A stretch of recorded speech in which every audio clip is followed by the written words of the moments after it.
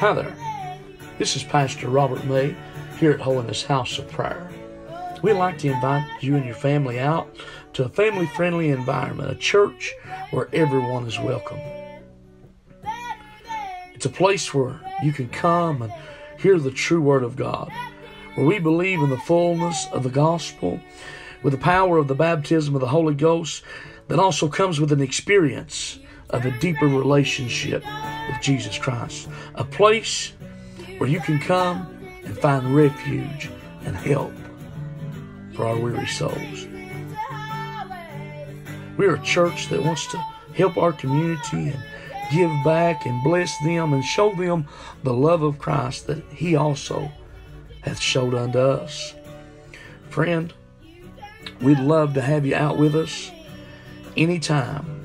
Our services are Thursdays at 7.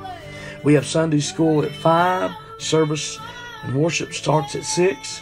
We'd love to have you come out and be with us and experience the relationship with Christ like it should be in its pure raw form of nothing but untamed true love and pure worship for the Lord.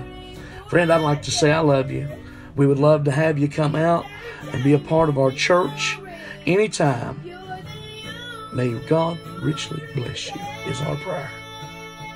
Amen. This world will promise peace and safety, but then cometh sudden destruction. Amen. But we know the help that we have only comes from the Lord. Amen. There's no help in a bottle or a pill. There's no help, amen, in this uh, garbage music, or there's no help, amen, in a therapist or a counselor, amen. But the Bible said the government shall be upon his shoulder, and they shall call him wonderful, counselor, prince of peace, everlasting Father, amen. And tonight, whatever we need, we must trust, amen, that we can go to the well, amen, and we can get a drink of water, amen, and it will sustain us. For he said, Whosoever will, let him come and take of the water of life freely. And in you shall spring up wells of living water. Amen. This he spake of the Holy Ghost. Amen. I'm telling you tonight, amen, we'll get our mind on the Lord. We can just have church. Amen. Who wants to have church tonight? Amen. I don't want to, amen, I don't want a form of a routine. Amen. I want to have church. I want God to be in the midst, in control. Amen. And just have His way. Amen. So tonight, Lord wants to shout you till your bobby pins fall out. Listen, Connie, let Him shout you, honey. Amen. Oh, yes. Come on, Moses. Him bobby pins work nights. Amen. We just let it fly tonight. I'm a firm believer in old time Holy Ghost power. Amen. Honey, the Bible said Ezekiel, when he came into the presence of the Lord, fell as if he were dead. Amen. How much do we see the presence of God in the house anymore? Or will we see somebody fall as if they were dead? Amen. Just like John the Revelator in the presence of God, he fell as if he were dead. When the last time that God slayed you out in the spirit, amen, and you fell as if you were dead because the presence of God was so strong. Amen. Tonight, how do you get that presence? Amen. When you get in one mind and one accord, amen, like they get in the upper room.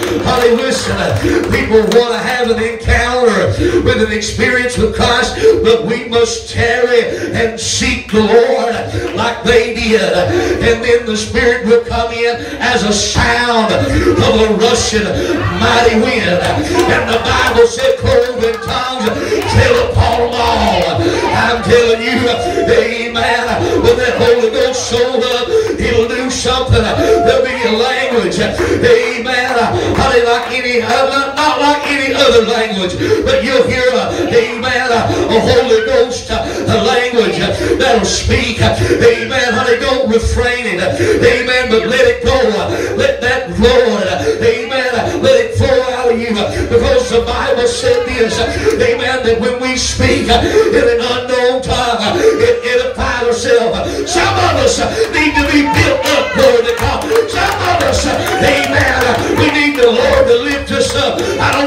about you, but that devil tries to keep knocking us down. But it will get our mind on the Lord tonight and let the Holy Ghost have his way. I'm telling you, friend, we'll experience the power of Pentecost in this house.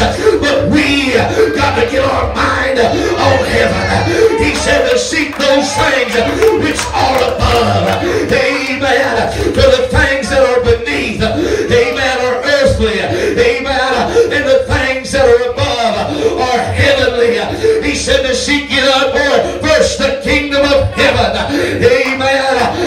Listen, when we seek him, amen, his power will be evident. Amen. His glory will fall. Amen. Moses said in the 33rd chapter of the book of Ezekiel, uh, the book of Exodus, he said, Lord, show me your glory. I want to see the glory of God like Moses seen it as a cloud that followed them and covered them in the day and a pillar of fire. Oh, I'm telling you, a pillar of fire by night. That Holy Ghost fire, amen, will burn out the impurity. The Holy Ghost fire, amen, will restore, renew, heal, deliver, set free, amen, and do work in the house that no man can do. Amen. It will put our mind to the Lord tonight.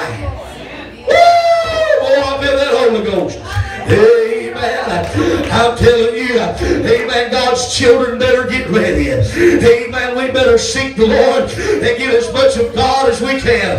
Because I'm telling you, the God warned me, amen, last Saturday, it came to me and told me it's time to get ready. Amen. And I'm telling you, church, I've prayed and I've sought God all week. Amen. I told a member of the church the other day, amen, that whenever I woke up, God took me straight to Ephesians 6. How that we must put on the whole armor Brother Wendell. Amen. We must get ready for warfare because the devil uh, is trying uh, to steal, uh, kill, and destroy. And we must get ready.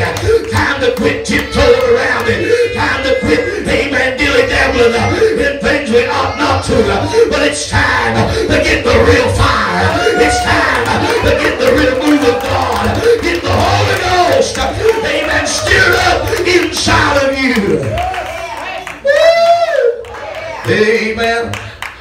Told Timothy in 1 Timothy to stir up the gift that which is in thee by the laying on of hands. Amen. Honey, listen tonight. Amen. If you need stirred up tonight, amen. We need to get in a prayer line and get the Holy Ghost fire rolling inside of us. Because I'm telling you tonight, amen, you heed the warning. The enemy's coming. And if you're not prayed up, if you're not on fire, if you're not built up on your most holy faith, you will fall and will perish without the burning fire of the Holy Ghost in you. See tonight, amen. And I'm not going to preach, but glory to God, I feel the Holy Ghost. Amen. I'm telling you tonight, we need to get ourselves, amen, on fire. Amen. We need to get ourselves burning because our God is a consuming fire. Amen. We need to allow Him to consume us. No more will we let the things of the world consume our mind, consume our thoughts uh, or our heart. But we need to let the fire of God consume us. Uh, that tonight we must seek the Lord uh, and have a renewing, a restoring, a refreshing. Oh, listen tonight. And the only way that we're going to get it is to seek the face and the hand of God. Woo! I'm telling you tonight, amen, it's the fire of God that'll keep you going. Amen. It's the fire of that Holy Ghost that keeps you going. Jeremiah felt like throwing in the towel. Jeremiah felt like quitting. He didn't think nobody would listen to him anymore. And listen, he felt like giving up. But he said, Thy word was in me like a fire shut up in my bones. It's that Holy Ghost fire that'll keep you driving. That Holy Ghost fire that'll keep you burning. That Holy Ghost fire that'll keep you moving and pressing and pushing and going farther.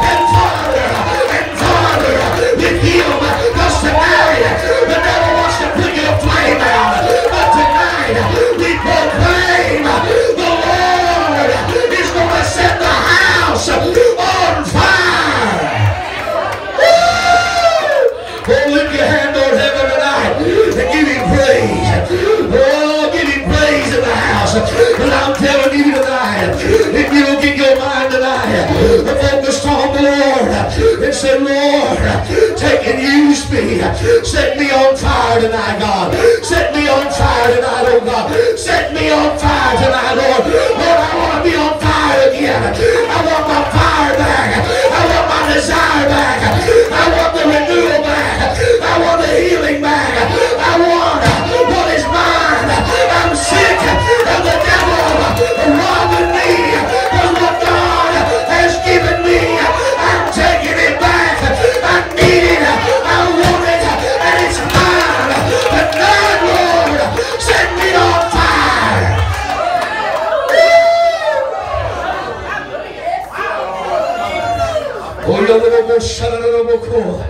We need the fire of the Holy Ghost.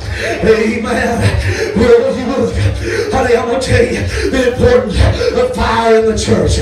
Ah, when they was there in the upper room and they tarried 10 days and the Holy Ghost fell right after that. Honey, they began to speak in tongues and cloven tongue fell upon all. And they was nation, uh, of every creed, uh, and of every race uh, that hear them.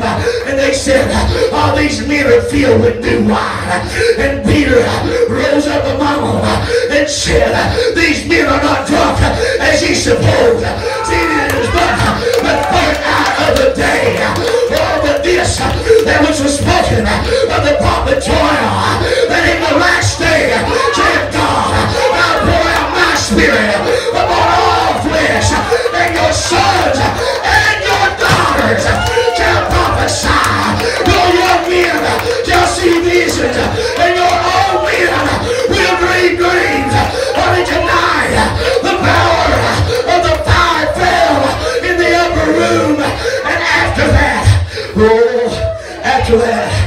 Peter and John, they came to a gate called Beautiful. Amen. I'm telling you, when you've got the power of God, you'll see the power of God. They looked at that man, and he said, Peter said, look on us. Silver and gold have we none, but such as I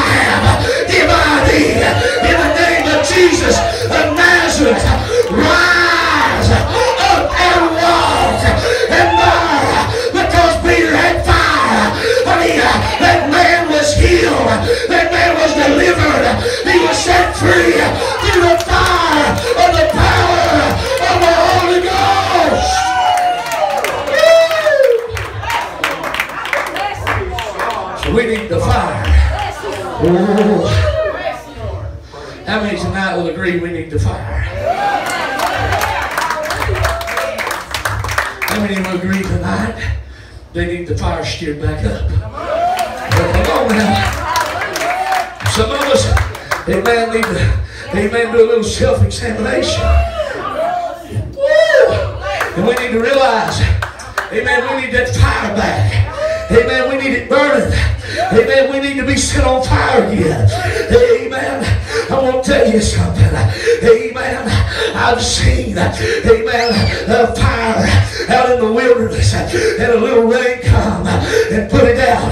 Honey, listen, a little storm might come along and try to put your fire out. But I'm here to tell you there's one in the house that'll light it back. There's one in the house that'll put it back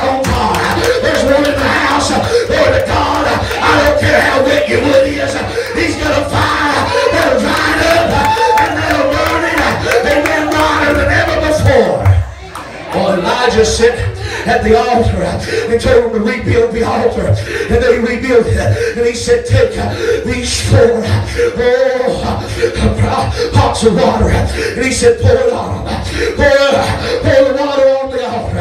And he said, do it all four times. And pour it on there. Pour it on. I don't care how much water, amen, of the storm that's coming in you. I don't care. Amen. You want to know why that Elijah that? You want to know why? Show you that the rain's going to come. But God will still send the fire. God will still answer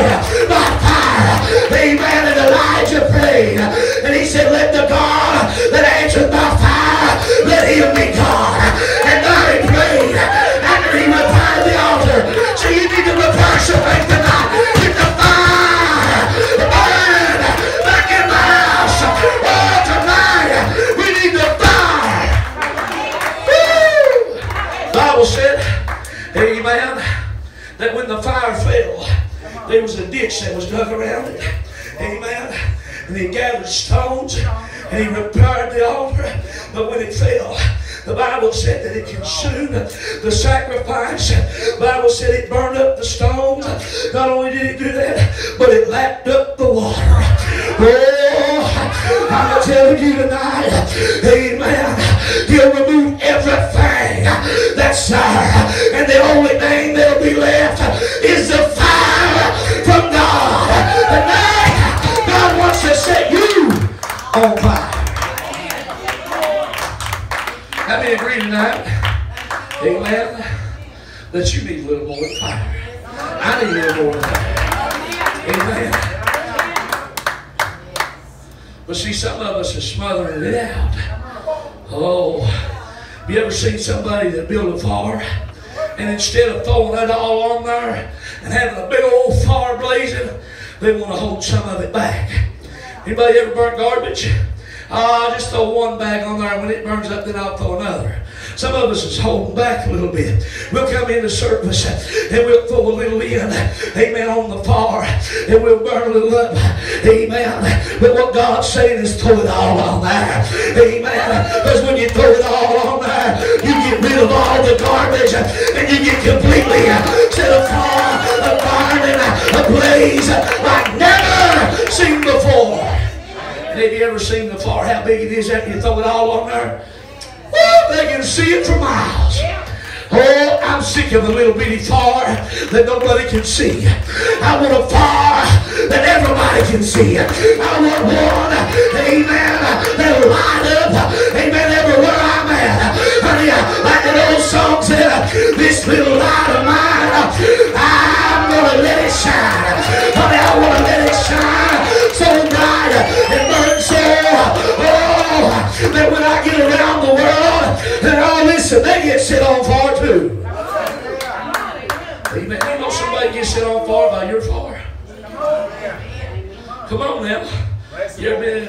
you ever been in an old dead dried up service? Amen. But somebody got the target up. Woo! Well, let's set the house on fire. Some of you need to be fire starters. Oh, come on now. Come on. Amen. We need to be fire starters. I remember I used to work in forestry. And when I worked in forestry, they would do a thing called backsetting. Amen. And they had a, a special tool. It was a fire starter. That's what it done. Amen. And it had a little bit of diesel fuel kerosene in it. They use either one. And it had a flame on the end of it. And that flame on the end of it, they tilted it up. And it, it would pour a stream of fire. And they would go through and they would set that fire. I'm telling you tonight, some of us, amen, that's got the fire, need to get out of our seat and get a hold of somebody that needs set a fire and shake them uh, to let the corner of the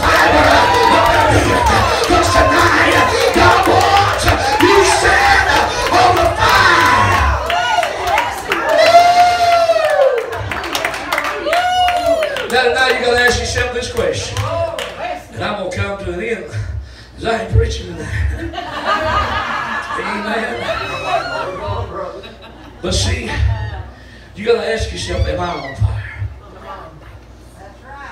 Or has the storms of this life, with the rain of all the calamity and the tragedy and the desires, listen, not only the rain of, of of destruction, but there is a rain of lustful desires that'll put your fire out. There is a rain, amen, honey, of lustfulness, amen, because your flesh, your flesh wants to lust for the things of the world, amen. And when that rain comes, amen, it'll put the fire out too, amen. But he said, covet, honey, listen, not the things of this world, amen. To lust after them. See, if your fire's been put out, I'm here to bring you some good news, amen. We got some fire starters. Amen. We got some in the house that's been a burning for years and still burning and wanting to set others on fire too. And tonight, you got got to be willing to say, Lord, I want to be on fire. Am I on fire? Or do I think I'm on fire? Come on now. Do, do I think I'm on fire? There's some people that thinks they're on fire. But honey, honey, the, the, the rains put them out long time ago. Amen. And all they do sit there you don't know how you know that you, amen, your fire's put out? Because when the preacher preach on you, you get mad. Oh, come on now. You know how when your fire's out, when you know you need prayer, you don't get it. Don't know how you know your fire's out, when God deals with you, but you won't listen. Don't know how you know your fire's out, you don't shout like you used to. Don't know when you know your fire's out, you ain't talking in tongues in a long time. You don't know when your fire's out, you ain't getting no new revelation to the scripture. You don't know when your fire's out, you ain't got a desire to be in church anymore. You don't know how you know your fire's out, you don't care about the church anymore. You know how you know your fire's out. Amen. God's trying to show you it's time to get back on fire. We all, I, I believe we've all agreed tonight we all need to be, amen, sit on fire, have a little more fire. Amen. You can't get too much fire. Amen. You can't get too much fire. Amen. The only way you get too much far is if it's wildfire. Amen. If it's strange fire. Amen. And then what kind of far is that? That's the far of the devil. Amen. An impostor, a fake fire. Amen. The one that'll give a courtesy fire. And then there ain't no Holy Ghost in it. Oh, come on now. The one that'll talk tongue. Amen. But they speak it from the mind and not from the Holy Ghost. Amen. Don't know about a fake fire. Amen. A fake far and holler, but there's nothing in it. But I'm telling you, there's a real fire tonight. And God is wanting to prove it, show it, and reveal it. So how many of us tonight said, Lord, I need to sit on fire. I need to sit on fire. Oh, listen. Some of you, amen. God trying to get your attention. Amen. You know how he'll get your attention? Amen. He'll set your barley fields on fire. Oh, yes. Amen. But see, this is a different kind of fire. This is a fire that destroys your life, destroys the things that you've got. Amen. God trying to get a hold of you and trying to shake your life to wake you up. Some of you, God's trying to get your attention tonight, and you keep saying, Why is things not working out? I've been praying, but God's not been answering. Amen. God's trying to get you on fire. Boy, I believe I stepped on a few toes there. We better go. Amen. But see, tonight, every one of us can say we need more fire. Amen. I need some more fire. So tonight, if we don't have a shout down, I'm going to call you all a bunch of liars. You hear me? Amen. Because tonight, I feel, I mean, I feel the Holy Ghost. God's wanting to do something in this house tonight. Amen. He's wanting to stir some things up. He's wanting to bring some renewal in the house. He's wanting to bring healing in the house. He's wanting to do some setting free tonight. But tonight, amen, you only get caught fire if you get in the fire. Amen. Amen. So tonight, here in just a little bit, amen, we're going to ask Sister Laverne, Brother Wendell, and Brother Arnott and his wife Amen. That when service gets took off here, amen, they're going to get the oil. Amen. And we're going to have prayer line tonight. And we're going to have a far service. You hear me? Amen. We're going to have what I, am telling you now. We're going to have a far service. What do you mean a far service? Amen. The Bible said that we could call down far from heaven. Amen. That some of us tonight that want a little closer walk. Amen. Want to be reset back on fire. Want God to move again. Amen. I believe tonight is the night that God's going to move if you walk in faith. For the just shall live by faith. If you believe God tonight, I'm telling you, He's going to pour down the fire of the Holy Ghost. So tonight, Amen. Oh, yeah, I know. Normally we do congregation songs. We're not doing that right now. Amen. But tonight, before we get into the service, Amen, before we pray, is there anyone tonight got a prayer request?